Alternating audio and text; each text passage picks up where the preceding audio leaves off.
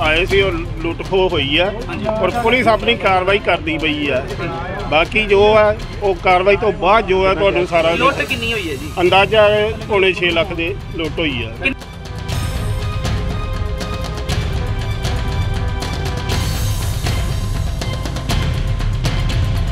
यहाँ पर central bank है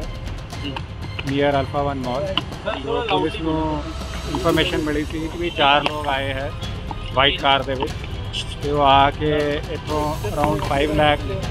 72000 ਦੇ ਕਰੀਬ ਲੈ ਗਏ